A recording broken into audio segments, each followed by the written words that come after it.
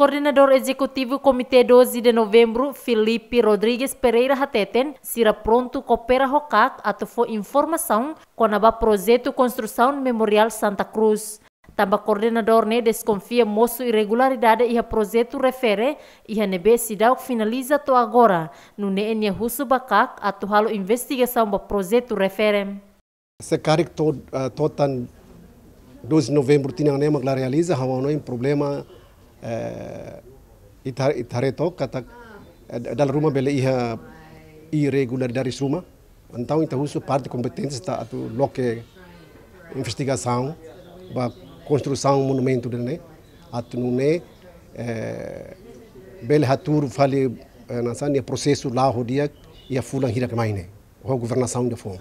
uh, haula as amsra kusima informação com a indícios indícios de corrupção na informação ligado de mas cari uma uh, parte competente precisa comitê de informação ruma ligado liga ho uh, construção monumento comitê pronto a oferecer informação no mesmo aqui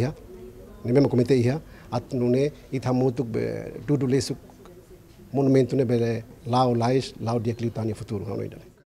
Antes ne CAC recolhe o documento projeto construção memorial massacre Santa Cruz, onde bele hatene problema e processo construção nebe parado hela. Orçamento do projeto refere com ida resin no tuir contrato projeto ne termina hatinan rihun rua rua nulu resin rua, mas be hatinan rihun rua rua nulu resin rua mo sidau cremata no ne governo estende tamba fulanen, mas be obra refere to agora sidau finaliza no parado hela. Emerenciana Martins Tito Silva, Yemen.